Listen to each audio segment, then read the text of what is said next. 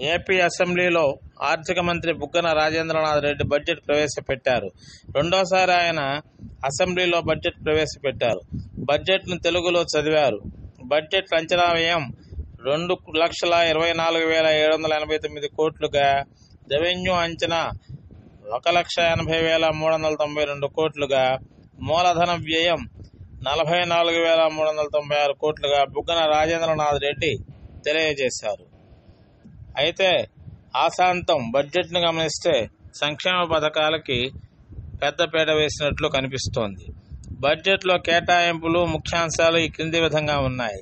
వ్యవసాయానికి పదకొండు వేల ఎనిమిది వందల తొంభై ఒక్క కోట్లు వైఎస్ఆర్ రైతు భరోసాకు మూడు వేల ఆరు వందల పదిహేను కోట్లు ధరల స్థిరీకరణ నిధికి మూడు వేల కోట్లు వడ్డీ లేని రుణాల కోసం వెయ్యి వంద కోట్లు మైనార్టీ సంక్షేమానికి వెయ్యి తొమ్మిది వందల తొంభై ఎనిమిది కోట్లు ఎస్టీల సంక్షేమానికి పద్దెనిమిది వందల నలభై కోట్లు ఎస్సీల సంక్షేమానికి ఏడు వేల ఐదు వందల ఇరవై ఐదు కోట్లు కాపుల సంక్షేమానికి రెండు వేల ఎనిమిది వందల నలభై ఐదు కోట్లు బీసీల సంక్షేమానికి ఇరవై మూడు వేల నాలుగు వందల ఆరు కోట్లు విద్యాశాఖకు ఇరవై రెండు వేల ఆరు వందల నాలుగు కోట్లు వైద్య రంగానికి పదకొండు వేల నాలుగు వందల పంతొమ్మిది కోట్లు ఆరోగ్యశ్రీ పథకానికి రెండు వేల ఒక్క వంద కోట్లు వైఎస్ఆర్ గృహ వసతికి మూడు వేల కోట్లు పిఎం ఆవాజ్ యోజన అర్బన్కు రెండు వేల ఐదు వందల నలభై కోట్లు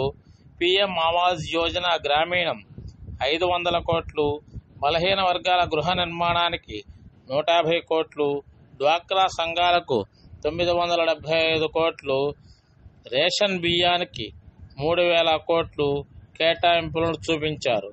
అదేవిధంగా కరోనాపై పోరులో ముందున్నామని ఆర్థిక మంత్రి ప్రకటించారు. మిగిలిన రాష్ట్రాలతో పోల్చుకుంటే కరోనా టెస్టుల విషయంలో ఆంధ్రప్రదేశ్ ముందుందని అదేవిధంగా కరోనాను అరికట్టడంలో కూడా ప్రత్యేక శ్రద్ధ చూపిస్తూ ముందుకు కొనసాగుతుందని ఆయన తెలిపారు. కరోనా సందర్భంగా ఆర్థిక వ్యవస్థ కుంటుపడకుండా చర్యలు తీసుకుంటున్నట్లు తెలిపారు. రెండు వేల పద్దెనిమిది పంతొమ్మిదిలో స్థూల ఉత్పత్తి ఎనిమిది శాతమే పెరిగిందని గత ప్రభుత్వం మిగిల్చిన అప్పులు సునామీల మీద పడ్డాయని ఆయన వివరించారు.